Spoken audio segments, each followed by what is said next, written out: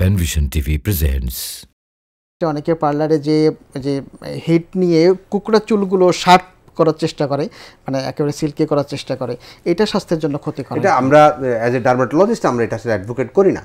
কারণ এখানে হচ্ছে কি চুলটাকে জোর করে আপনার একটা হাতের ভাত যেরকম সেটা উল্টা দিকে আপনি যাচ্ছেন। ন্যাচারালি আপনি আপনি আপনি চিন্তা করেন আমাদের যেমন হাতের অংশটা এইভাবে আমরা ভাজ করি। আমরা যেটা উল্টাভাবে ভাজ করি তাহলে হাতের যে জয়েন্টটা ভেঙে যাবে। ঠিক চুলের ক্ষেত্রে তাই আপনার যদি চুলটা কোকড়ানো থাকে বা কার্লি চুল যেটাকে আমরা বলি সেটাকে যদি জোর করে আমি যদি স্ট্রেট করতে চাই সামথিং ডেফিনেটলি ইঞ্জুরি হবে টু দ্য হেয়ার ফলিকল ইয়ে কে বলে pulp of the hair medulla যেটাকে বলে মাঝের অংশটা যেটা সেটা তারপরে ক্ষতিগ্রস্ত হবে। সেক্ষেত্রে চুল আসলে না করাই ভালো। কারণ আসলে ব্যাপারটা হচ্ছে যে এটা আমরা তো একটা আউট অফ ইমোশন চলেই। অনেক সময় দেখা যায় কার্লি চুলের জন্য সবাই ক্রেজি ছিল একসময়।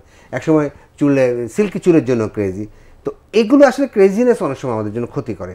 এখন যার যেটা চুল, সেটার মধ্যে থেকে সে তার, কারণ তার প্রফেশন তার স্টাইলিং আদার সব কিছু মিলিয়ে তাকে যেন যাতে ভালো লাগে, সেভাবে করতে হবে। কিন্তু আসলে কার্লি চুলকে স্ট্রেট করা স্ট্রেট চুলকে কার্লি করা both R injurious and not good for hair এটা তো সাধারণত সৃষ্টিকর্তা তার ফেসের সাথে মানান সই একেবারে সামঞ্জস্য রেখেই চুলটা সাধারণত দেন।